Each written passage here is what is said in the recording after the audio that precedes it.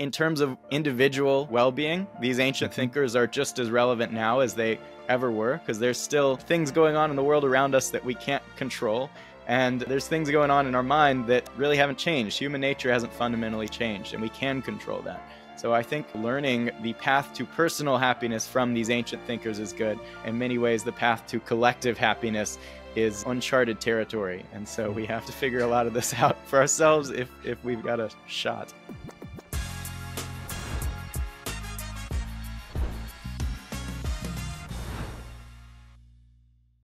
Hello, Ryan. Thank you so much for doing this. If you can just tell people a little bit about yourself and, what brings you here uh, so they can get a little understanding prior to us getting into the conversation and talking about your book or your new book.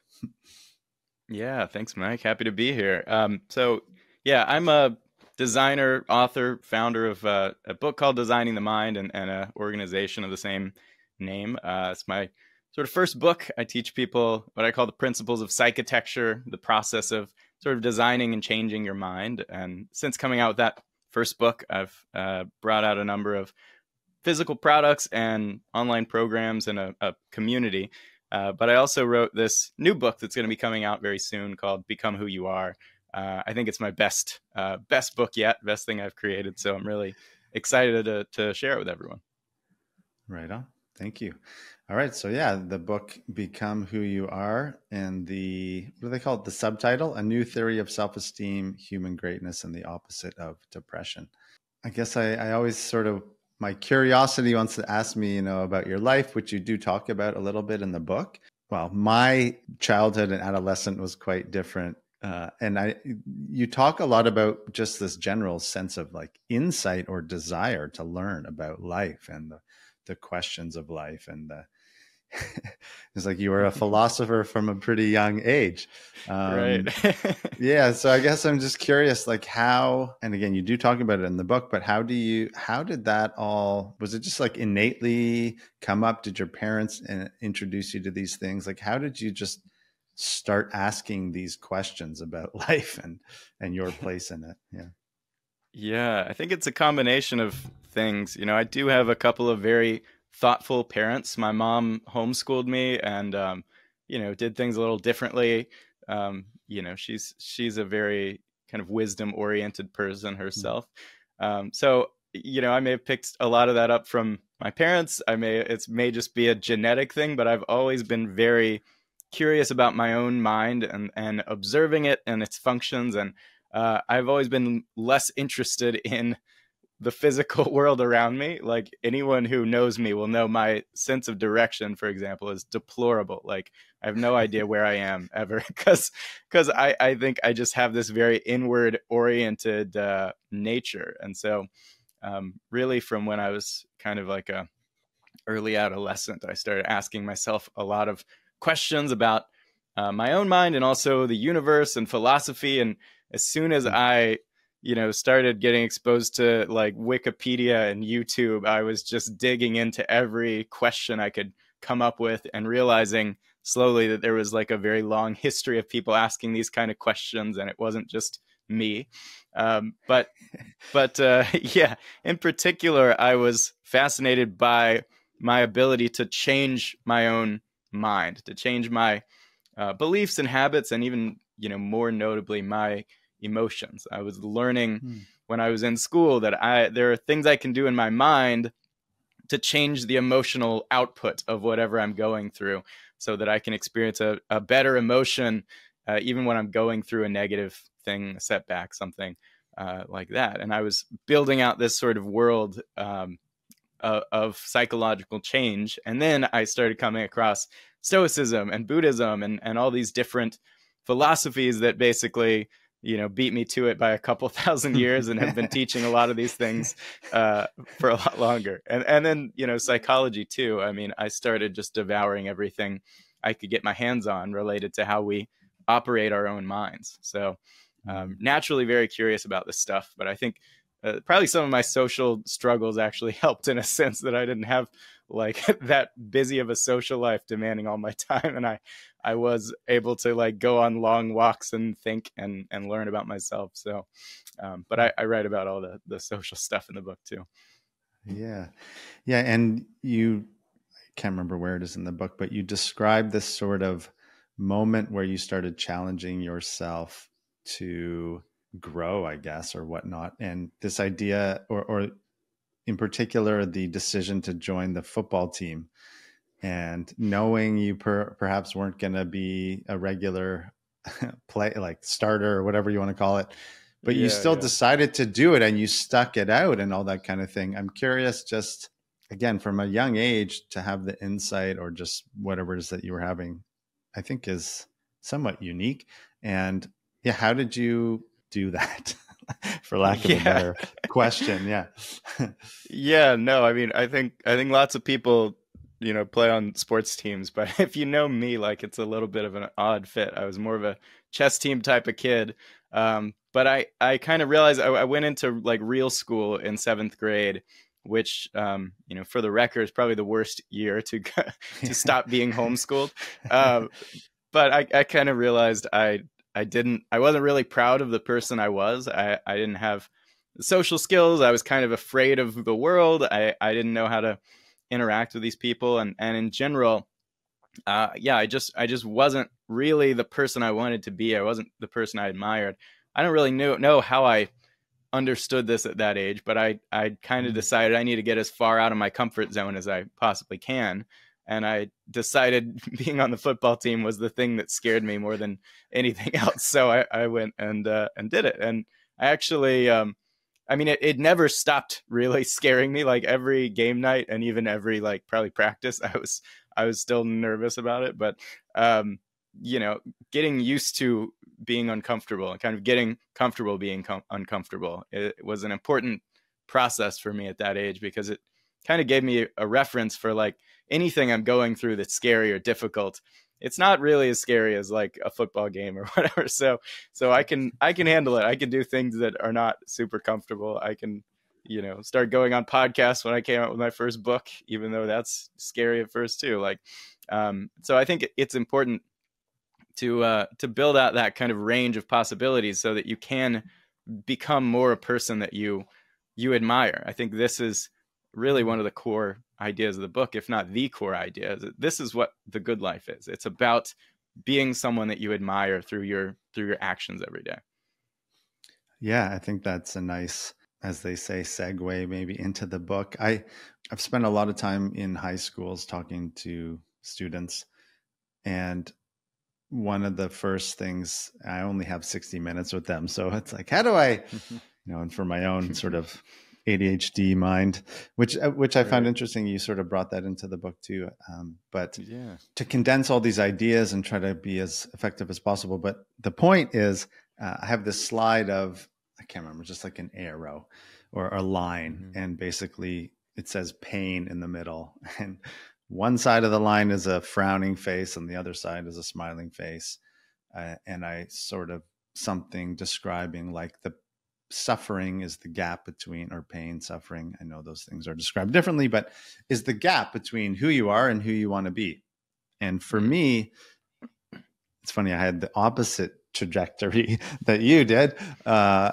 and and often you know in canada i think drugs are more readily available and there's not as sort of much like i know obviously depends where you are in america but and i sort of went the opposite direction that gap between who you are and who you want to be, as you kind of just brought up, is sort of a huge part of the book. And you have these sort of nice, in the first part of the book, you have these sort of, you have the axis and then you go three dimensional. But do you want to maybe just talk about how you see the essence of the good life and, and just how well being, virtue, ethics, values all fit together? Yeah, I really like that suffering as the gap between who you are and who you want to be. Very, very closely related idea. Um, mm-hmm. And and I have a similar kind of dimensional axis thing, so I'll, I'll share that. So, uh, kind of if you imagine there's a, a chessboard on the table in front of you, um, you've got the x-axis, the kind of left and right, which is pleasure and pain. So, further to the right, you're experiencing more pleasure at that point in your life. Further to the left, more pain, more suffering, discomfort. Right? Uh, you got the y-axis, which is kind of moving further away from you or closer to you on the chessboard. And this represents loss and gain. So further up means you've got more success, more external gain in your life. And moving down means you're experiencing some kind of loss. And so what I argue is that most of us as adults basically use this chessboard as a map for navigating our lives. Sometimes, hmm. you know, we'll take some pleasure in the moment. Sometimes we'll sacrifice the pleasure and, uh, you know, make uh, make compromises in order to achieve more long term gain. And so we're always kind of balancing these two. The problem is it's not really a very good map in the sense that you know if you were if you were using this map to navigate uh, some terrain, you'd find yourself stumbling and falling off cliffs all the time, and uh, and you wouldn't really understand why. Well, you've got a bad map, and and basically, uh, you know, we've got a lot of data suggesting that this is not really how happiness works, right? We don't really mm. feel more deeply fulfilled in our lives just because we're experiencing pleasure or gain at that moment, external success. Lots of stories of people who have everything on paper and they're still unhappy. Um, you know, lottery winners, paraplegics, people who have lost seemingly everything and their life is ruined, and very quickly they adapt and they're like, oh, okay, this is just as good as before. It's different, but you know, it's all good.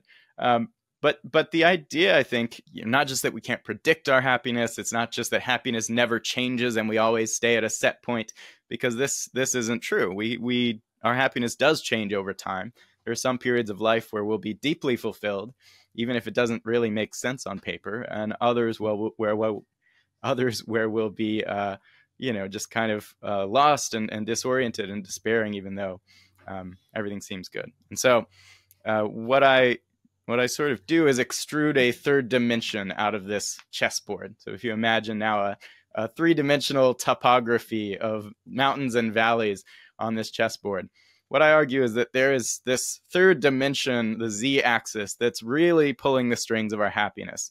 So even when we're moving to the right and we're saying, "Oh, I'm I'm getting happier because I'm gaining something," well, really, you're getting happy if you're if you're climbing higher up these mountains, uh, and and you just don't have a map for really seeing those mountains, so you don't really understand what's going on under the surface. So this third dimension, uh, I introduce it initially as admirability, and it's basically this idea that you are as happy as your own actions that you admire, right? When you your brain observes you doing things that you would approve of if another pe- person was doing them, right? That is what actually increases your well-being.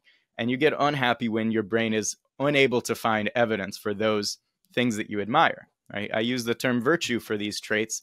It's a very old uh, term with a really rich philosophical history, but it's also become kind of a stuffy, preachy kind of word today, unfortunately.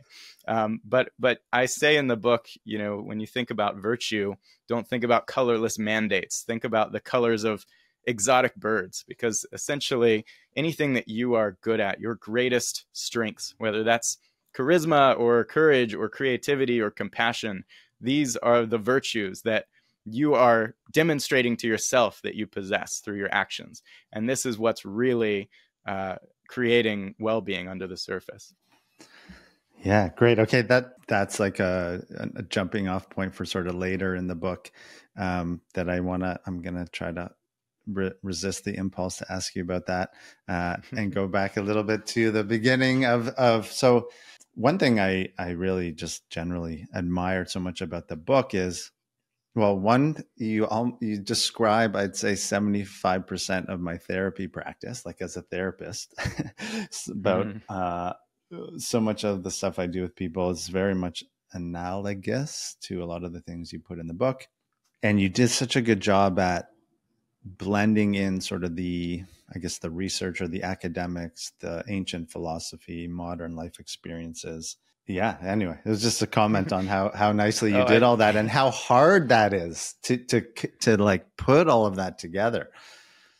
I appreciate that. It yeah. it is. Uh, I mean, this is kind of how my brain works. I don't I don't really bring new research to the table. There's no new experimental data, but I am pretty good at looking at seven different fields and saying how do these all weave together. And this yeah. is something I think we don't generally do enough of. So I, I appreciate that. Yeah, yeah, you really did a great job. Okay, so on that note, a lot of the references or the research that you cite, I'm relatively familiar with. So I just wanted to ask you a little bit about that. Um, in the beginning, you you reference Paul Bloom's work on the sweet spot, and as I understand it, it's the voluntary suffering that leads to a sense of well-being or fulfillment or purpose.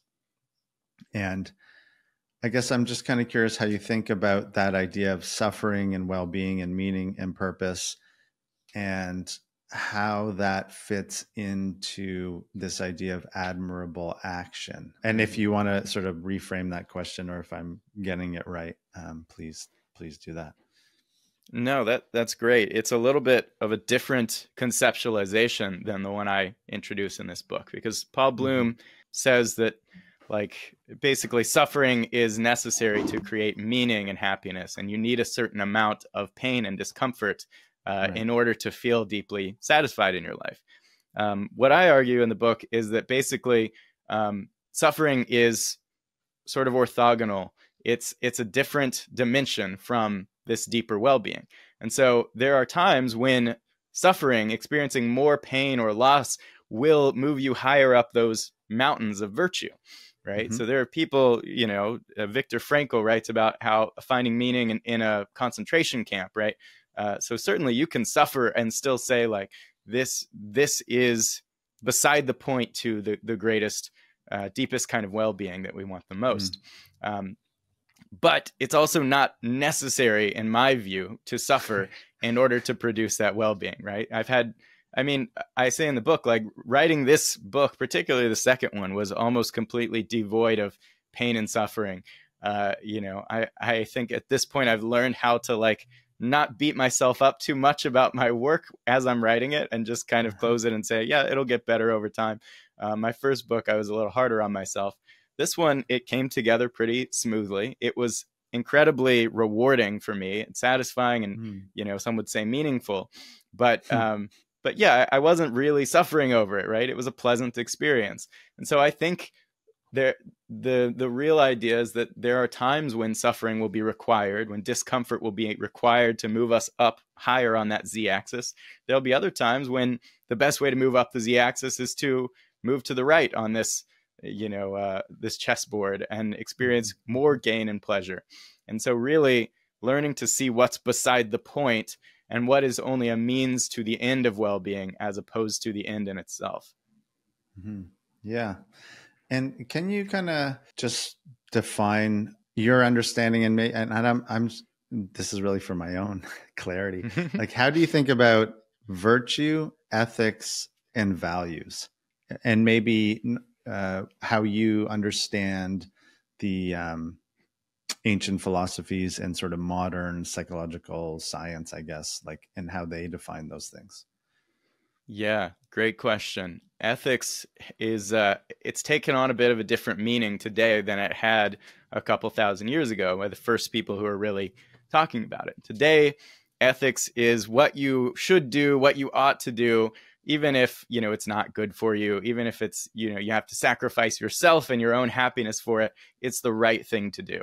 Um, back in the day, ethics was deeply tied to happiness. It was what you should hmm. do, but not just for everyone else uh, at your own expense. It's what you should do for you. It's the wise decision that will bring the deepest long term happiness.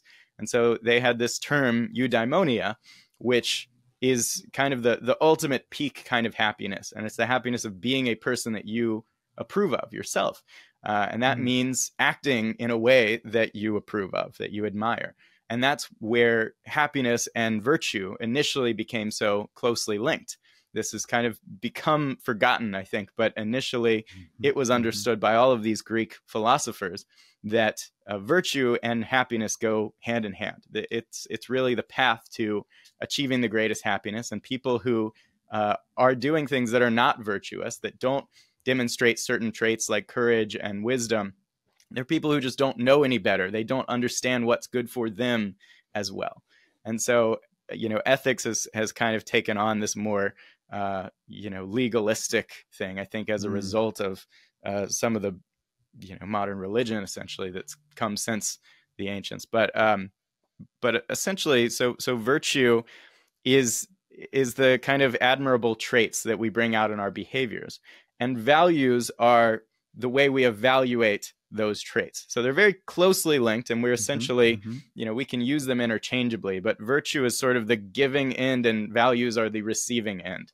So when when we observe someone who we admire, right, they're demonstrating their virtues and we are evaluating them according to our values. And if they align mm. with them, then we admire them.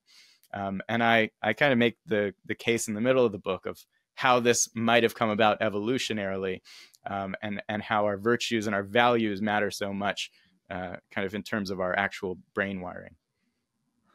Yeah, that's great. Okay, so just to reiterate that, for again to get it into my own head, I like that's a really nice way to describe it. Particularly, so the virtues are the the behaviors in some sense, right, or the ways of being, and the values the traits, are yeah the traits right and so then the values are we evaluate those things in others based on our own values.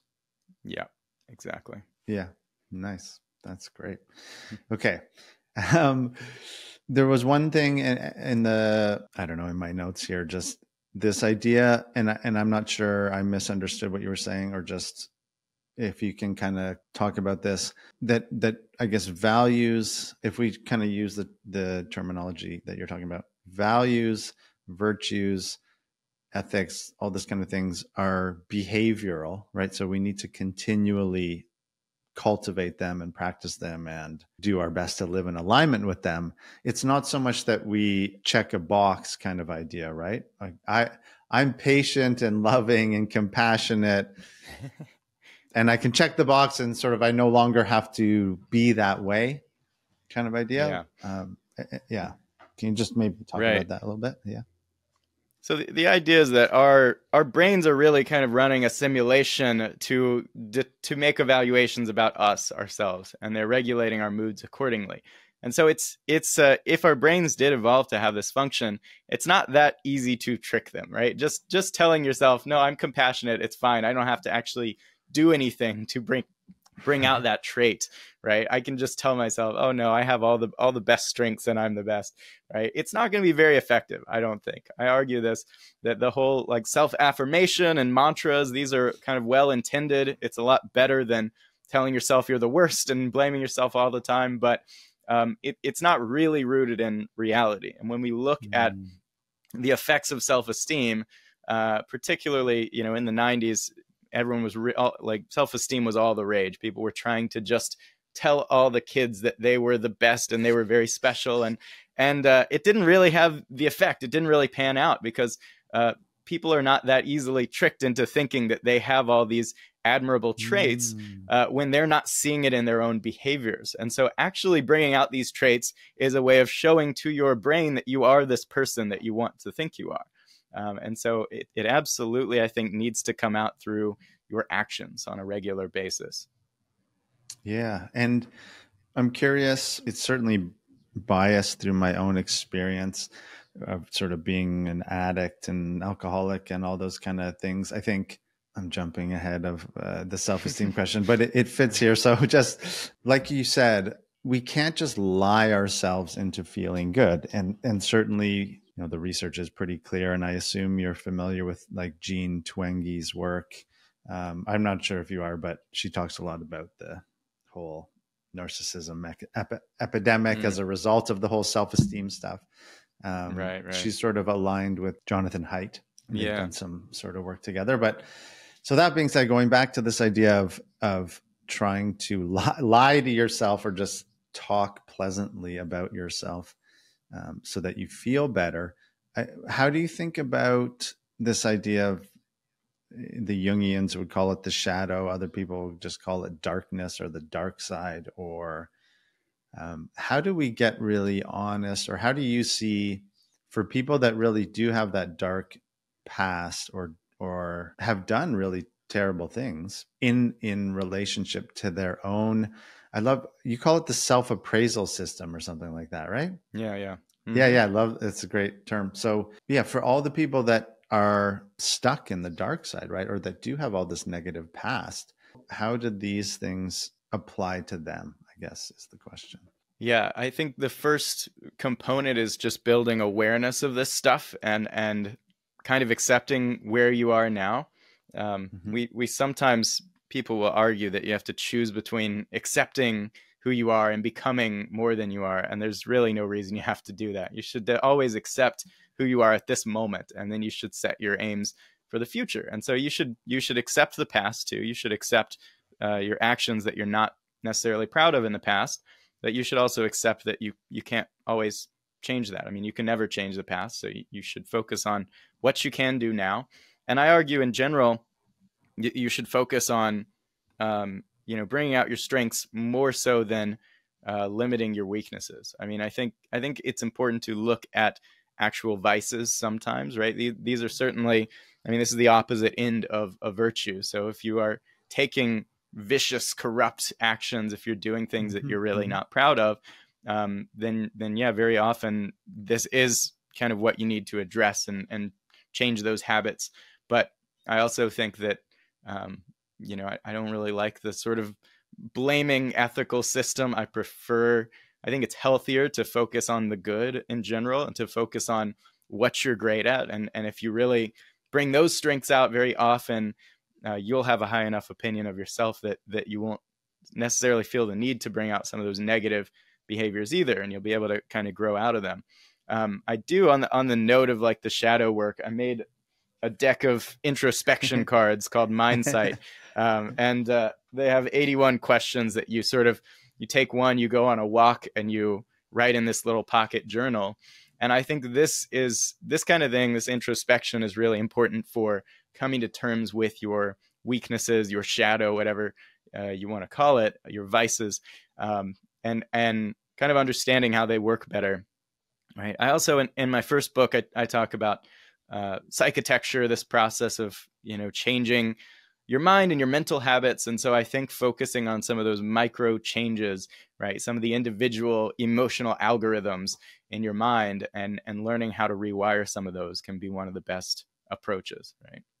Yeah, for sure. How do you, as I sort of mentioned before, and is clear in your experience, sort of the ability to conceptualize what's going on, to, I guess, think ahead and to actually act on that is pretty mm-hmm. unique. Um, for people to do that individually, or maybe not unique, but not generally what I've seen uh, in people and I, I guess I'm just going to bring up kind of, I'm not sure how familiar you are with like AA and the 12 steps. Principally, though, that's a program of like virtue and ethics and moral behavior, so to speak. Um, mm-hmm. And a huge part of it is obviously people who end up in those rooms, so to speak, do have a lot of kind of darkness that they need to clear through prior to being able to focus on the good. Yeah. And I'm not sure if I'm just making a statement or asking you a question.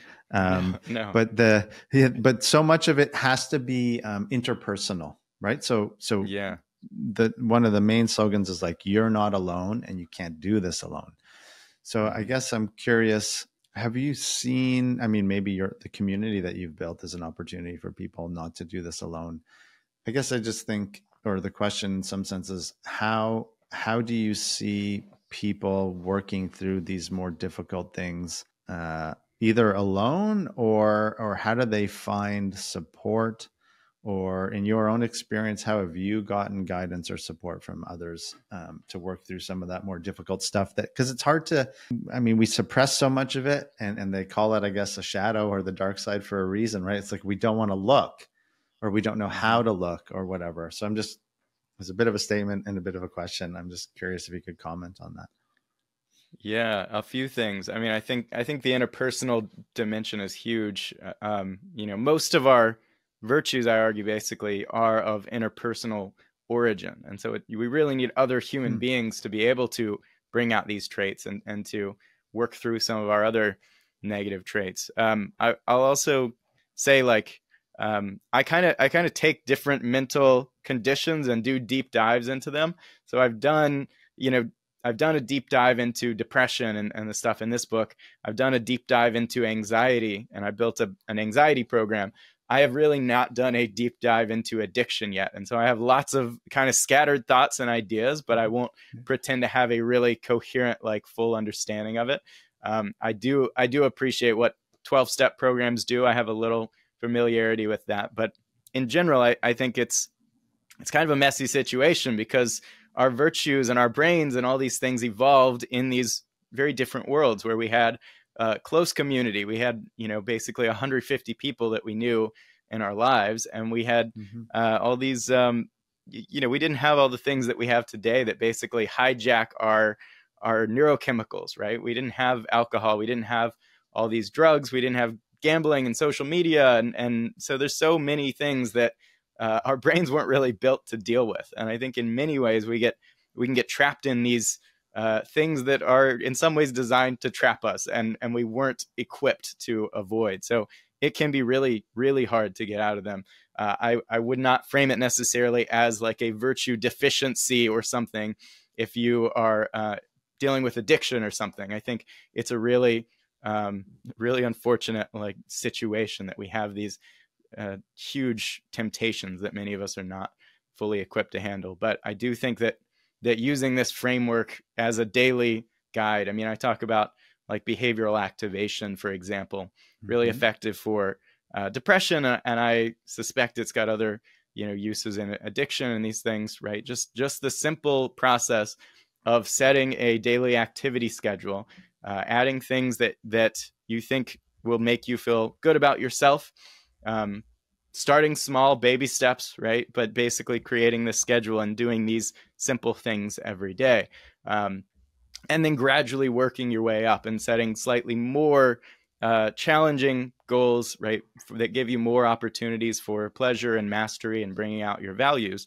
Um, this this is one of those ways that i think can be really useful for someone who is stuck who doesn't um, you know, who knows there's like 20 different things they should be doing and they just aren't able to do it.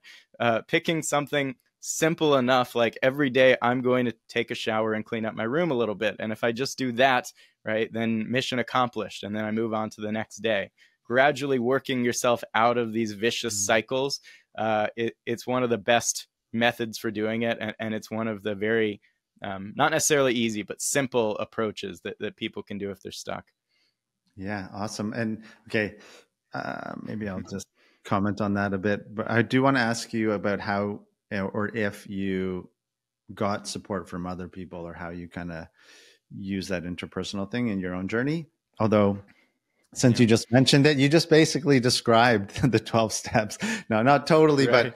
but uh, it is a program of action. And it, eh, there's a saying that was beat into my head early on you can't think your way into right action. You have to act your way into right thinking, which is basically mm-hmm. exactly kind of what you're describing. And yeah. And they always say it's simple, not easy, which is kind of like a spiritual slogan, or at least in my understanding. And exactly what you said, you know, just do one thing, one thing at a time, or yeah. just one thing a day. And that I think, in my experience at least, I was so and this is connecting a few different ideas, which I mm-hmm. was going to get to later, I guess. But you know, this idea which you commented on briefly too is like these these positive affirmations and pretending that things are different than how they are. There's a part of our consciousness that just knows it's total bullshit, right? Like it's mm-hmm. like we mm-hmm. can't lie to ourselves, so to speak. Yeah. And you also mentioned, which I really liked, towards the end of the book, sort of some of the shortcomings of of sort of like cognitive behavioral therapy or like reappraising our thoughts or whatever. When when our negative thoughts are true right? Like how, what do we do about them so to speak? And so for me yeah. to kind of make it uh, put a real life example on it is like you know i lied all the time. I avoided responsibility. I was terrified of facing my problems all that kind of stuff. And so i couldn't use even really maybe some reframing or whatever was mm-hmm. if I just take it one day at a time, maybe I can change. Although all those negative thoughts and self appraisals were somewhat true at the time. And the only way to free myself from that, again, which you bring up in the book, which is a huge part of the 12 step process, is if I start to act in such a way that is admirable or that I would admire, then maybe I can learn to admire myself. Um, mm-hmm. or, or, or at least stop hating myself so much. then yeah. I can get to the, the part of, of ad, sort of living in alignment with more admirable values. Um, mm-hmm. And so maybe just, eh, I was going to ask you this later, but it's come up now. Just that idea of, yeah, what do we do, or how do you see what to do with the negative thoughts or self appraisals when they're actually true? yeah, yeah. So I I will point out that you know cognitive therapy has um, a lot of efficacy in, in certain scenarios. No I think no it, it's, yeah, yeah, yeah. It's a very sure. good thing when you're yeah, like you say, when your thoughts are distorted and your beliefs aren't true. And and the the tricky thing about that is you don't really know if your beliefs are true or not because you believe them, right? And so right. using that process is a good way of sorting out, oh, I'm really distorting this, you know, going in and, and identifying these distortions of black and white thinking or um, you know, all these all these other distortions and and saying, oh, this this belief I have fits this, right? Actually correcting these things and replacing them with more accurate, more balanced healthy alternative beliefs. This is a mm-hmm. very effective process. It's when our, our brains know on some level that it really isn't true what we're trying to tell ourselves that it becomes a problem.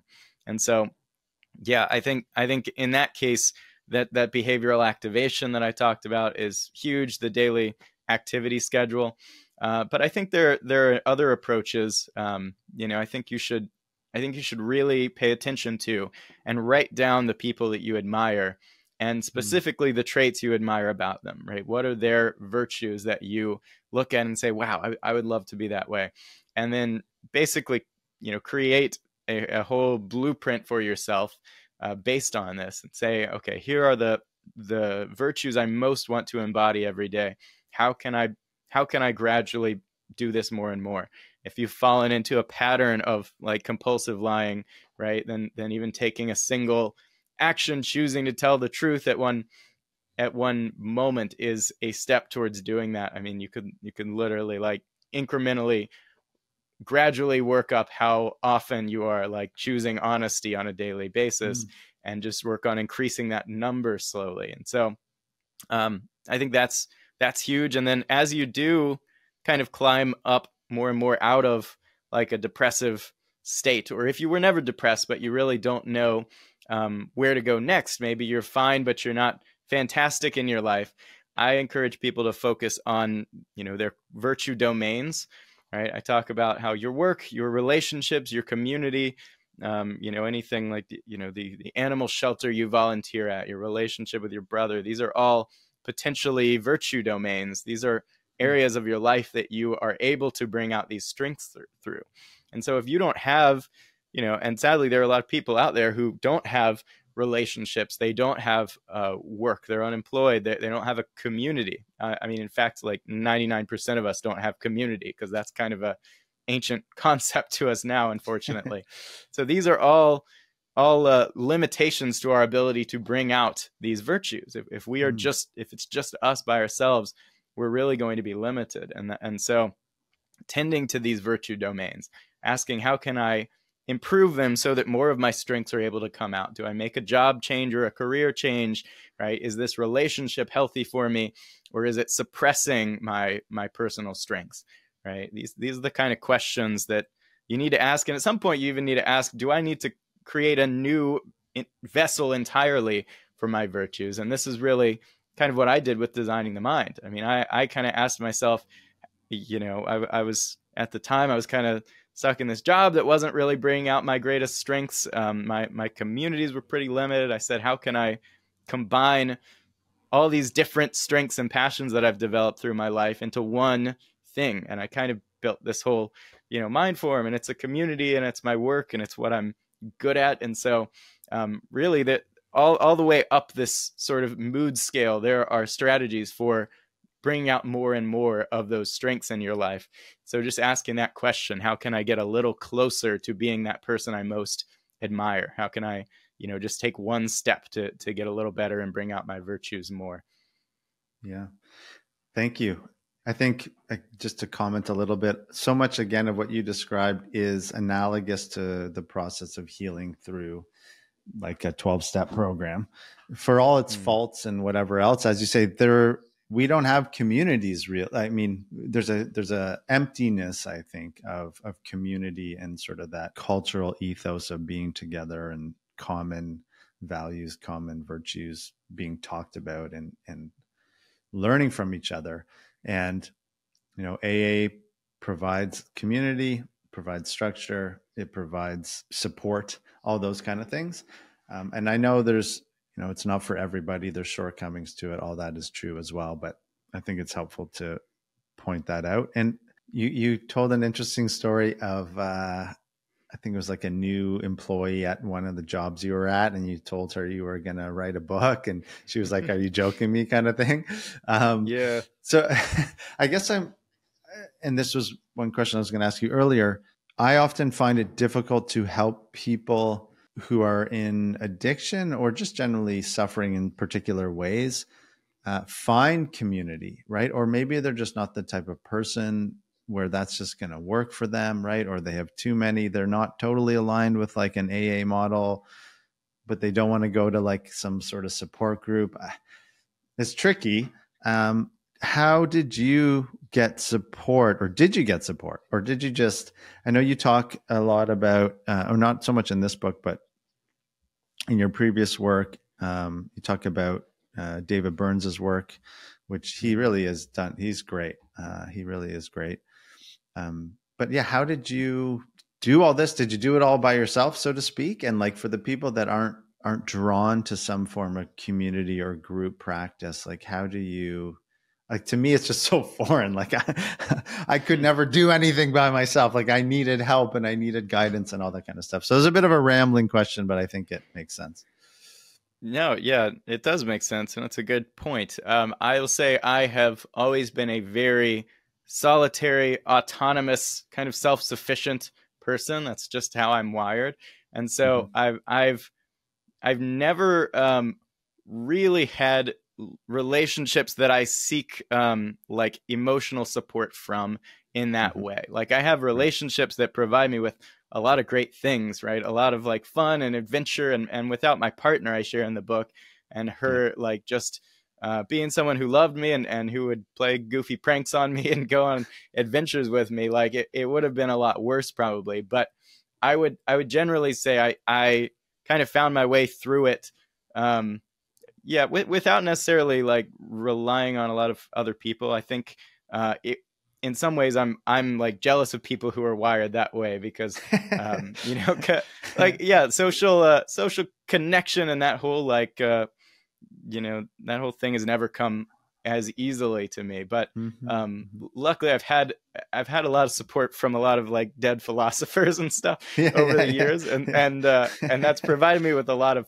important skills. I think even, you know, when I was going through this challenge that we're referencing, I knew it would be temporary. I knew there was a lot in my life that was sort of, um, you know, really kind of unpleasant. You you mentioned this uh, coworker who mm-hmm, just took mm-hmm. this, you know, visceral dislike to me pretty much from the start. That that's kind of nothing I've ever experienced before. But um, there, you know, I, I uh, yeah, I shared my book with her. I tried to kind of like relate to her and, and empathize with her, and uh, yeah, no, there was there was no changing that basically.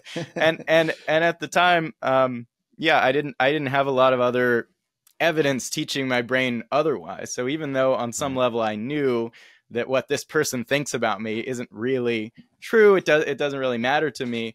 Um, you know, I had very few people in my life. There was a pandemic going on at the time, so I didn't have any community. I had my partner, luckily, but um, yeah, I, I was part time at my job. I was kind of just I had become a supplementary asset because I was writing my book on the other days, um, and so yeah, in general, I I uh, kind of fell into a difficult time, and and a lot of what what got me out of it, honestly, was um, switching the company that I worked for, uh, being able to get out and, and interact with people again post pandemic and um, publishing this book and basically creating a new kind of career for myself where I, I am able to bring out those strengths much better than I was doing kind of engineering drawings and and uh, stuff I wasn't really good at and didn't really enjoy doing. So yeah, in general, um, I, I, I think the people in my life have have certainly helped me. Uh,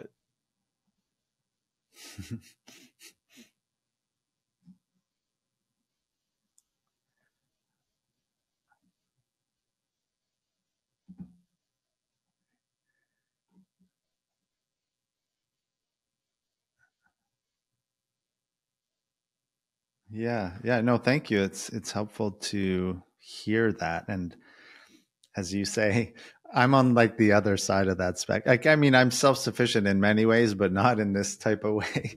And so, yeah, I've had I've had to have a lot of guidance, which I'm incredibly grateful for. Um, and and and in some ways, analogous to what you're saying in terms of in in choosing a sponsor in AA, they always say find someone who has something that you want, right? And not like a nice car, right? Like mm-hmm. a way of being, a personality, sort of like an ethic, right? That you admire and that you want to emulate, which yeah. again is, is sort of exactly kind of what you're describing.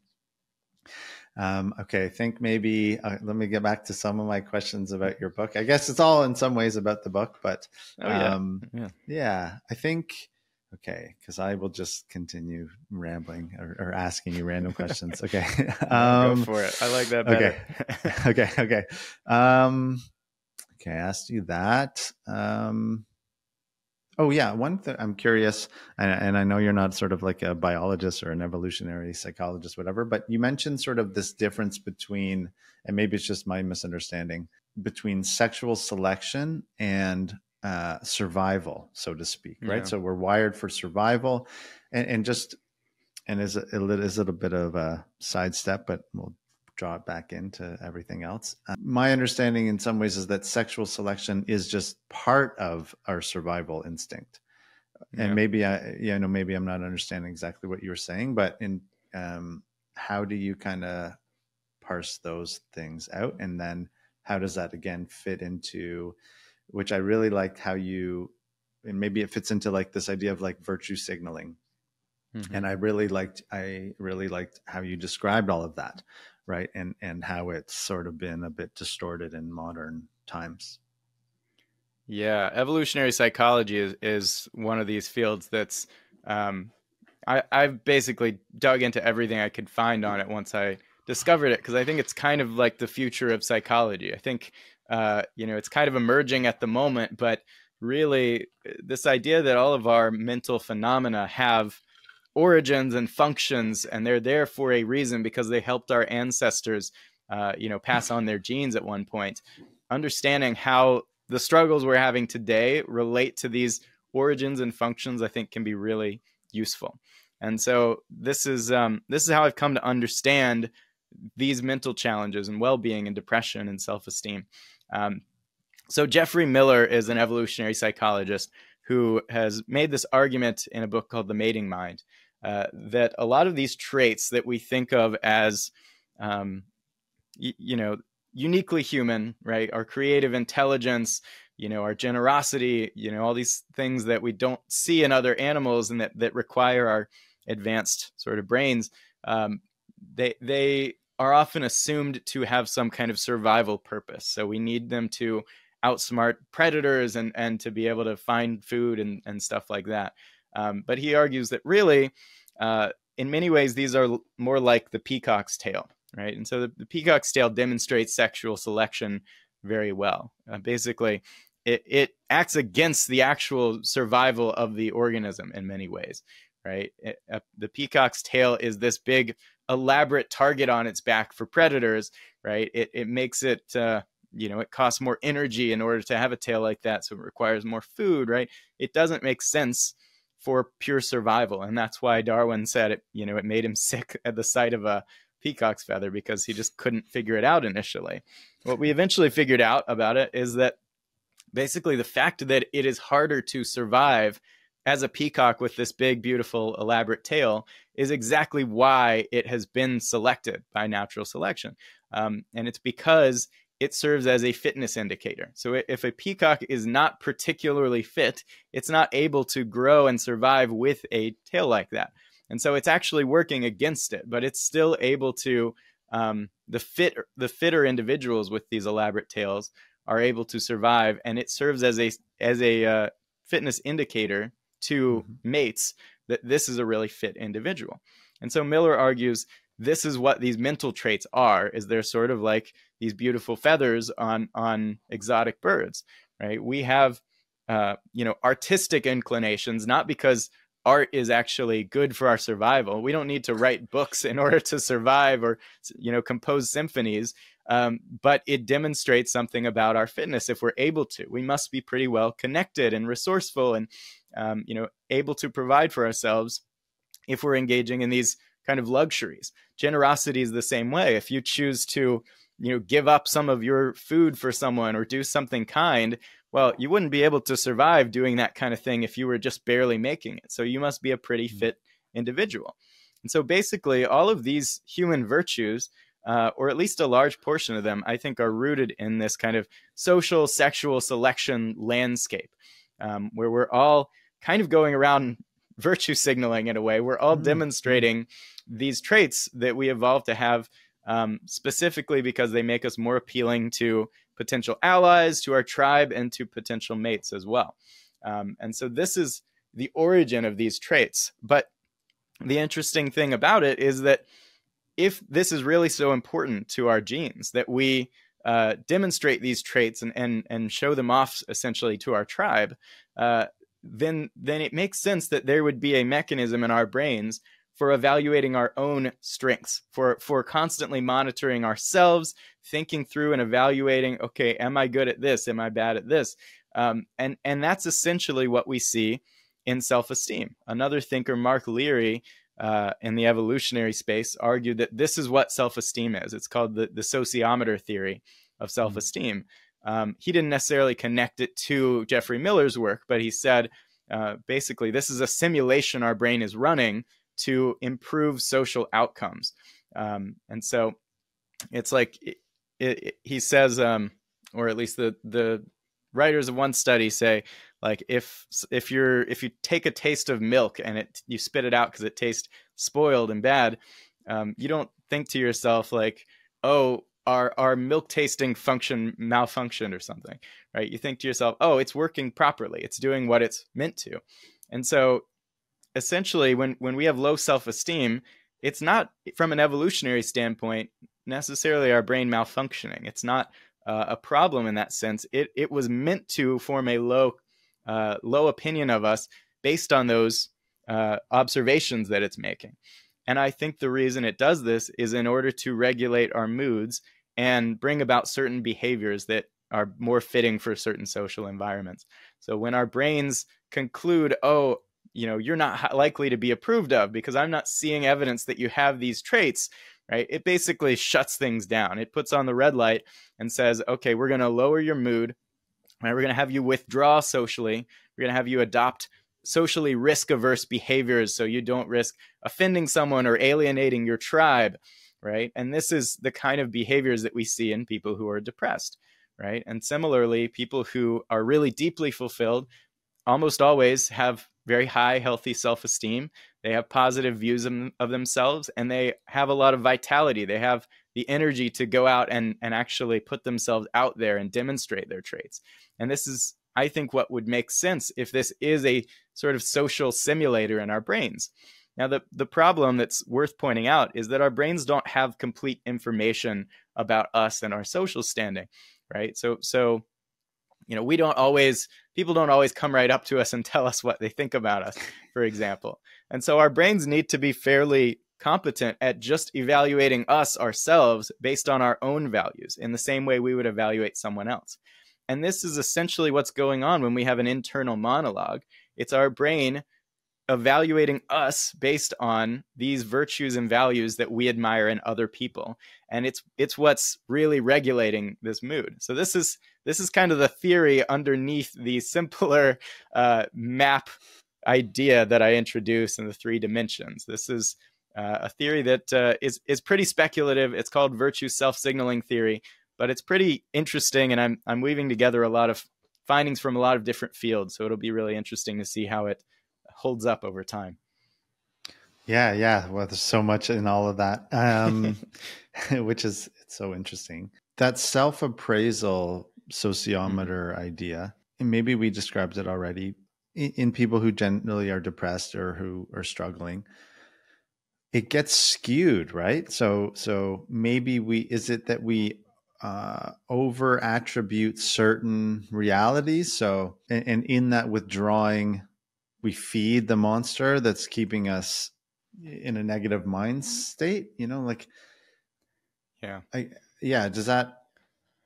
There's so many things going through my head at once. I'll just stop with that, right? And it's like, yeah, yeah. How do we then discern? yeah, how do we discern that? Yeah, it's it's not easy to discern. Here here's what I'll say about this mechanism. I imagine yeah. it would have been much more accurate 10,000 years ago. I right. imagine that uh, our brains would have been much more likely to form correct conclusions about our virtues mm-hmm. Uh, mm-hmm. when we didn't live in this modern globalized world that is so different from our ancient one. I think there is a mm-hmm. lot of, um, you know, a lot of just weird signals that we get today that aren't really what we're you know intended aren't what our brains were built for uh, mm-hmm. you know like i said we don't have tribes of 150 people anymore we have lots of strangers around us all the time and acquaintances and we change locations and and you know workplaces you know school cohorts right? There's so many uh, mm-hmm. different ways that our communities work. And so our brains get different signals right? Some of our social interaction comes from social media and and email and stuff like you know these platforms that really you know we didn't evolve to make sense of. And so it, it does kind of make sense that we would come to wrong conclusions more often about our self-worth and that we would need something like cognitive therapy to go in and, and sort out those wrong beliefs um, but but you know i think also if you look at your life and you say okay i feel like i you know i don't ever leave the house i don't ever do anything i'm not uh, bringing out any of these strengths because I'm just playing video games all day, right? Then that, that's probably like that's the the your brain is not malfunctioning in that case, and mm-hmm. you need to you know step in with your behaviors and start making actual changes. Um, but but yeah, it's it's unfortunate that, that, our brains do have this tendency to uh, get skewed and distorted, and this is easy to identify in someone else. It's very hard to identify in yourself. Yeah. Nice. Yeah. Okay. And I, I, I, do think this fundamental underlying notion of acting in a way that we would admire or that we admire in others is so important and, and almost like is a through line through all of this. And for those people who can figure that stuff out sort of on their own, in a sense, which which you're one of those people, that's amazing. For other people, if you need help, get help, right? It's sort of, I know it's simple to say yeah. that, but, um, and it's not always easy to find, but I, I also do like your reference of, you know, there's lots of dead people and books and teachers all over the place that we can access, uh, at least their teachings and their wisdom and all that kind of stuff and try to integrate it into our own lives. And I don't want to forget to ask you about this. So, I guess jumping to kind of another concept in the book, this idea of the self, right? Um, and you sort of give an example of sort of the there's I can't remember exactly how it goes. It was pretty funny. You were like uh, describing the principles of you could say like Buddhism, so to speak, right? Like transcend mm-hmm. your yourself and live free, and you've just achieved enlightenment, kind of thing. Um, I can't remember exactly right. how you said it, but it was quite uh, it was funny. Uh, so I, I, I think so. Maybe I'll give you my thoughts about it. Tell me if it's accurate to what you were saying, and then maybe you can just comment on it. I think, yeah, my understanding, and I've been fortunate to have a really great teacher. And then also recently, I've sort of been following Sam Harris's work on his app, which I find he's he's such a he's so clear in his teaching, and I think he does a great job my understanding is is that what we're really cultivating is just the and you i think it's sort sort of analogous to the self appraisal system but is that we we we want to identify with the observing like of conscious awareness. And then it's not that the self isn't important right or having a self sense of self isn't important. It's just that if we get over identified with that then in some sense that starts impacting our self-esteem because it's if my interpretation of myself is good then i get a boost of self-esteem. If it's bad then i lose that sort of sense of self-esteem and so we're just trying to uncouple that attachment, right, to the sense of self. And I think, at least for me, that subtlety of I understand the self, at least as it arises in my consciousness and my thought stream and my emotions, da, da, da, in some sense, it is an illusion, right? Or it's a temporary experience in my mind. And it passes, and then you know it's a sort of back and forth flow of experience. And and I think so those that's my thoughts and that's my interpretation of what you're saying. And i think you were sort of saying how the sense of self really does matter and it is important and all that kind of stuff which i do agree with although i just think the subtlety is that we can have both in a sense right? The the no self right? The the awareness that we're not this concept and creature that we perceive in our head uh, and at the same time that that serves a purpose and is useful in the world yeah, yeah. So that's so, my best yeah attempt to kind of sift through that because you know people have been discussing this for thousands of years, obviously. Yeah. Yeah, very well put. Um, so I would say first, I I agree with the no self doctrine. I think that right. we really are not this unified decision maker in our head, but a, a complex aggregate of all these different perceptions and desires and um, and so I think the the Buddha was right. Sam Harris is right about this, and I think generally mindfulness uh, is a healthy practice. Uh, the reason why I think it's healthy is I I, um, I don't say this in the book, but I've written about it in articles. You think about it mm-hmm. like playing a video game. Um, you know, when you uh, if you're playing a game where you have to like level up a character, um, you know, when that character dies or something bad happens in the game, you don't go getting, you know, super upset all the time because you know it's just a game and it's just a character you're sort of playing.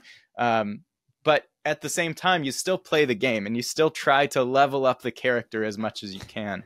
It's kind of cool that the term character has a double meaning because in real life, hmm. the game is to level up your own character, essentially, um, to, to build out these virtues. That's the game. That's what actually enables you to win and experience this deep happiness. But I think it's good to also have the ability to step back and say, it is just a game. It is just a character. It's not real in a sense. And being able to examine your thoughts and your emotions as just thoughts and emotions and not necessarily as the deepest kind of reality right? I think that those very much go hand in hand.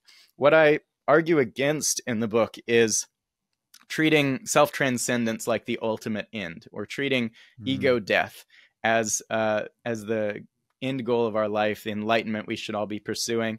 This is kind of an unquestionable idea in spirituality and self help, and even like Silicon Valley. Everyone's talking about getting rid of your ego and your sense of self. And I don't think this would be ideal. I think this is I say it's like, you know, if if having a really negative strong sense of self is like a negative 1 on this scale, um, mm-hmm. then then this ego transcendence, ego death is a zero essentially, which it's it's neutral. It's a big step up from hating yourself, right? But you can also get up to positive one where you have a real deep approval of who you are. It's a gradual process. I think you, you know, um, making use of mindfulness and meditation and uh, generally building cognitive, uh, metacognitive awareness is very much conducive to this long term goal. But keep the long term goal in mind. Aim for eudaimonia of being a person you really approve of uh, in all your strengths and all your virtues and traits. Um, don't just aim for having no self, right? That's that would be my my advice and my conclusion but then i'm also i've never been enlightened. I've never transcended my ego completely so i can't fully compare the two.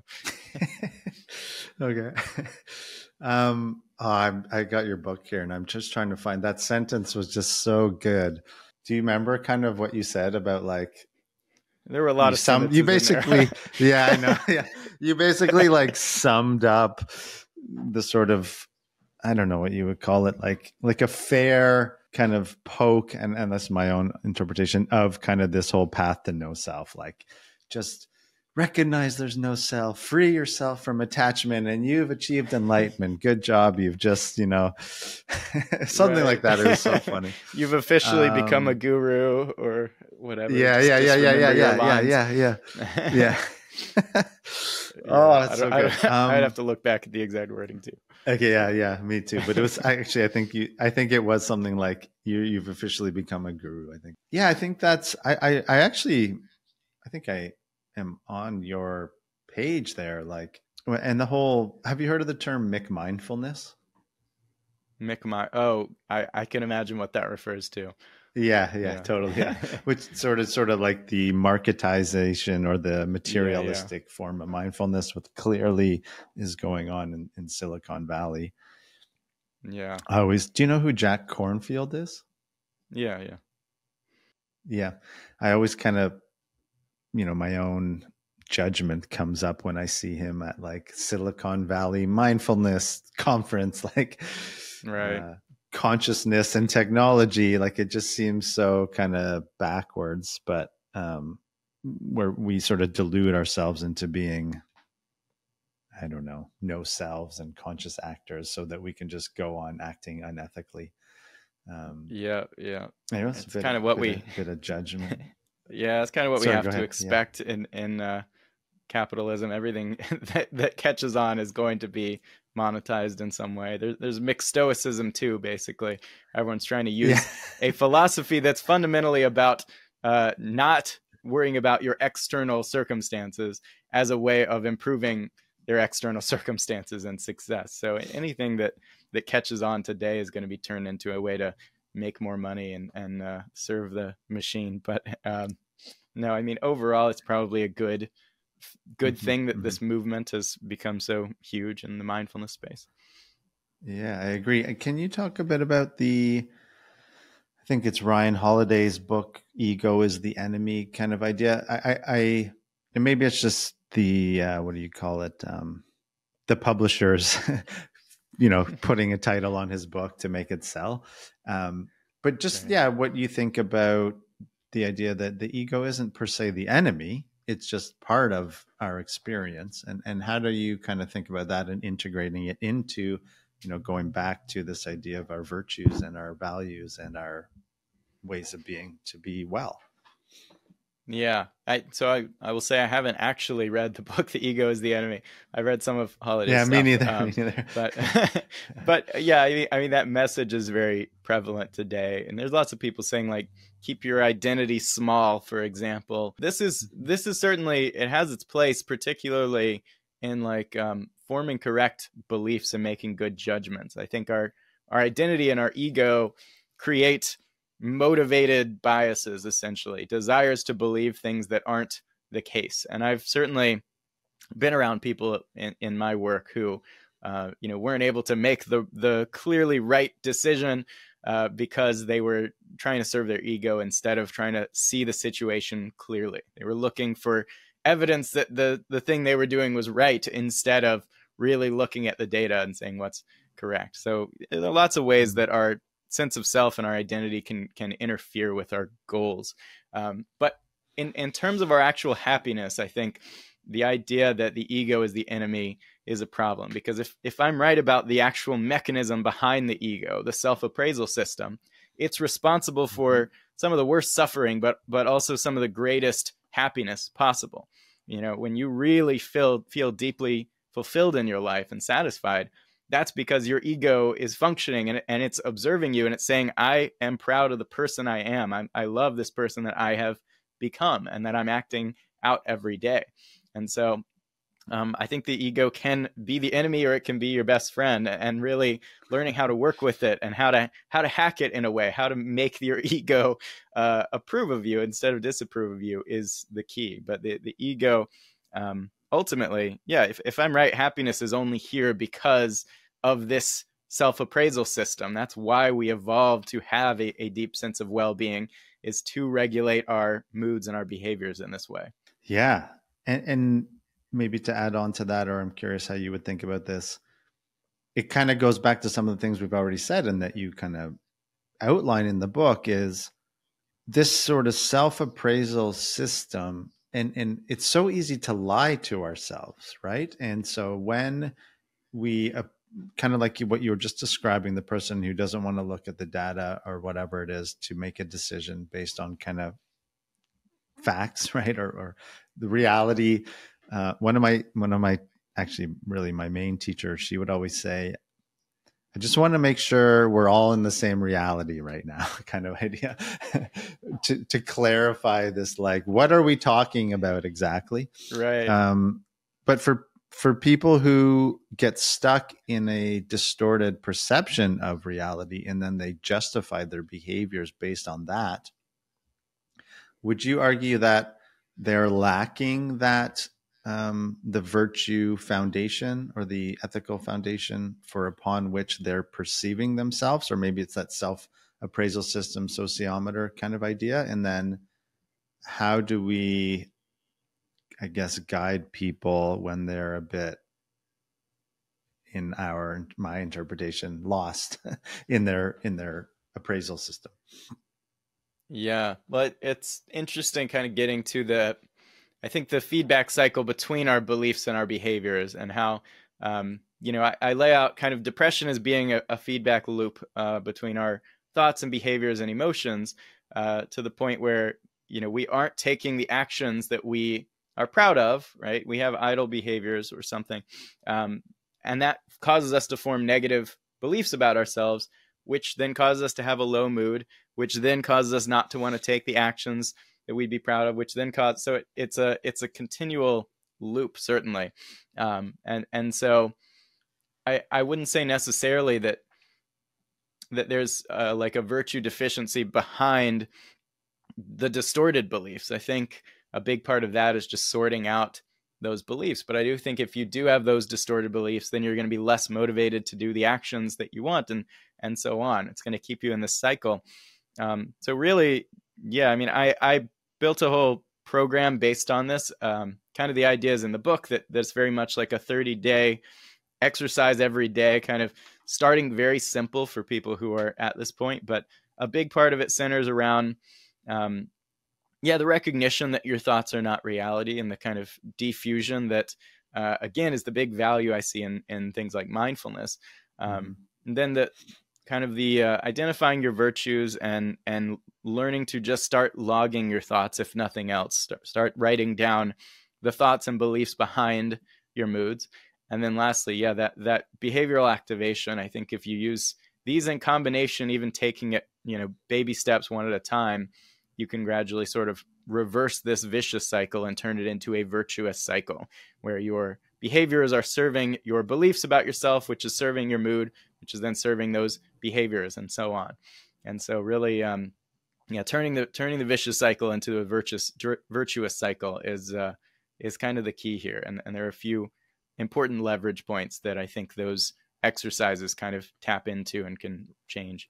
Yeah, thank you. Okay, and how I guess as we sort of get towards the end of our time, I'm curious, and maybe a connection between sort of our societal values and I know we're very much talking about sort of our individual stuff, but I think what recent world events have done to me is to maybe have more faith or belief in sort of a virtuous value based way of being and then seeing how that scales throughout a society right or a civilization even and this uh, obviously isn't a new question. It's been brought up many times and is being spoken about now.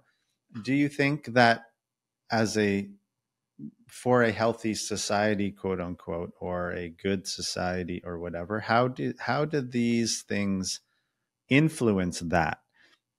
And then lastly, do you think that I have a colleague, he's a professor of political science at the University of Toronto. His specialty is in I'm gonna is like human rights and that kind of thing. Um, mm-hmm. But our human rights uh, is a civilizational or a Western concept in some sense, and I do think it is based on these virtues and these values and whatnot. And it seems like we are in. A, I can't remember who wrote the book. Uh, I think Nietzsche wrote, or somebody wrote it something a long time. Oh no, it was Freud, maybe Clash of Civilizations or something like that.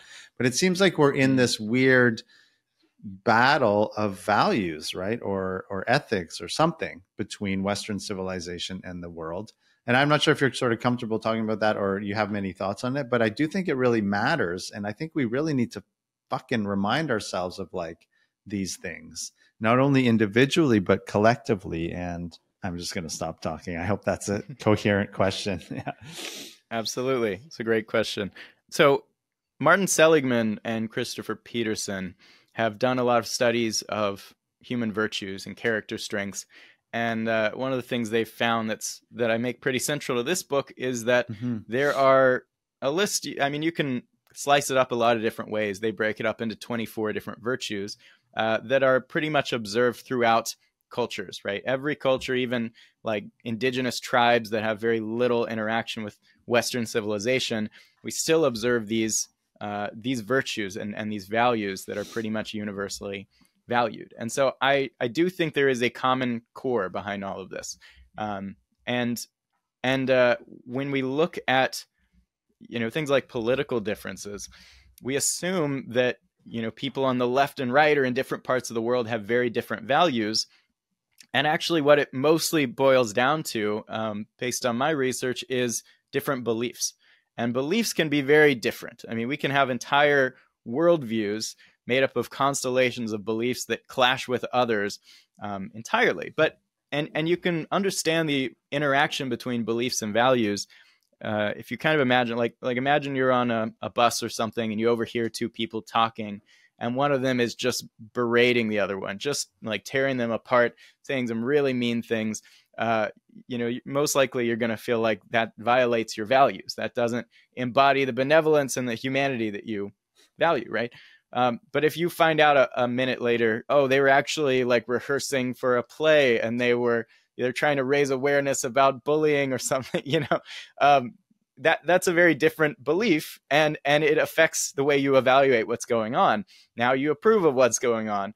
Um, so but it's not that your values changed in that matter of minutes. You didn't suddenly you know take a 180 it's that your understanding of the situation changed and that affects the way that your values are expressed. And so you know we live in a world now where where there are so many different beliefs. I mean you would have pretty much been on the same page as your tribe back in back in the day but now there's the internet there's there's religion there's all these different belief systems uh, and it's kind of an all you can eat buffet and that means that people end up in uh, people end up in very different places in terms of their worldviews and that results in what appears to be a lot of different values clashing.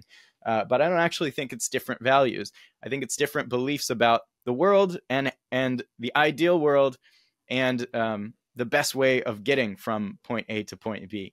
Uh, lots of different beliefs, unfortunately, um, and so that that does create problems. But I don't think it's necessarily a problem of very different values. Um, I will say mm-hmm. that different cultures certainly prioritize certain values and highlight them above others, and certain incentive systems uh, motivate us toward things that aren't even a part of our values. You know, like mm-hmm. like our world is so capital centered and profit centered, even though like our ancestors would have had no notion of profit. They were nomadic. They didn't hoard things. They couldn't hoard things. They didn't have currency.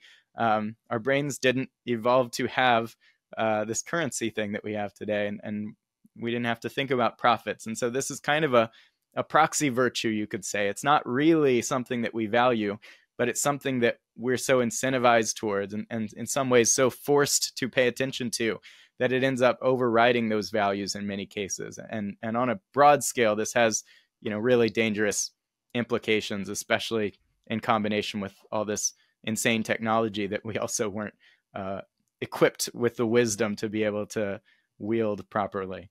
So um, yeah, lots of lots of problems, but I don't think they're problems of different values. I think they're different mm-hmm. beliefs and incentives distorting how those values play out.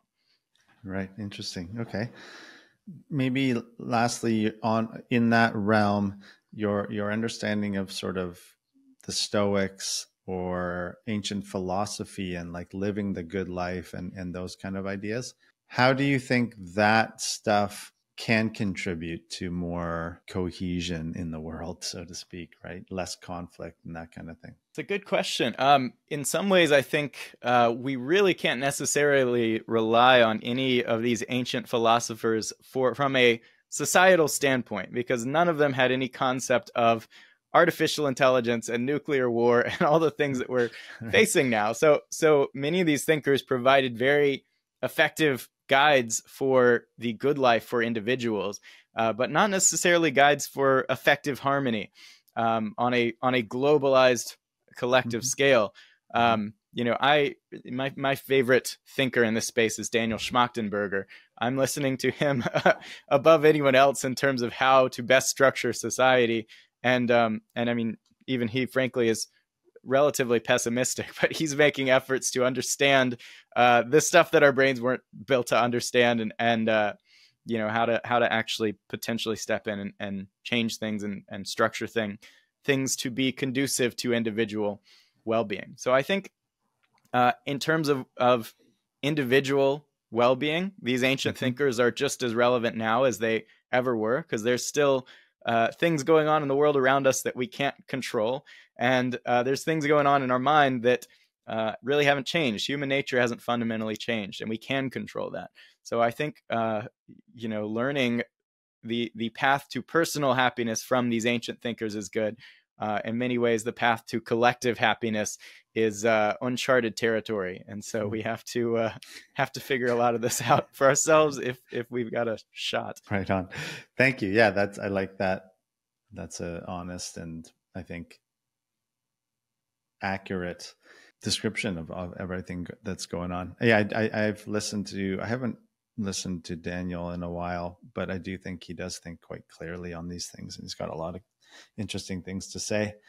Um, mm-hmm. Okay, I guess just anything that we kind of haven't discussed or anything from the book that didn't come up or any sort of other thoughts, ideas, things that you're thinking about right now or finding useful and um, if you want to kind of talk about anything like that man we uh we covered a lot i could i could keep going for hours probably but uh i will i will just say um you know, we, we talked a little bit about the importance of community and finding mentors and people that you admire and can learn from. And I would put forward Mindform, the the kind of community and, and mental training platform that I've built as a mm-hmm. as an option for people. We have, you know, meetings every week. We have uh, online programs for depression and anxiety, and so uh, it's it's a really cool community that's not really like anything else I've been a part of. So um, you, you can apply and join that if you want. It's called Mindform. Um, but I'll also say, um, you know, you can, uh, I give away a couple free books to listeners for these kind of things. Um, so you can put in the show notes if you want, designingthemind.org slash psychitecture. Uh, I'll, I'll, send you the Psychitect's Toolkit and the Book of Self Mastery, which is kind of a, a, quote compilation on a lot of these ideas. And um, you know, Become Who You Are will be available for pre-order very soon, potentially when this airs. So um, yeah, I, I, look forward to sharing that with everyone. But yeah, if um, you know, if you have any other questions or anything, hit me. But uh, yeah. Okay. Yeah. Thank you so much. And yeah, certainly all that stuff will be in the show notes where people can track you down and, and learn more about your work.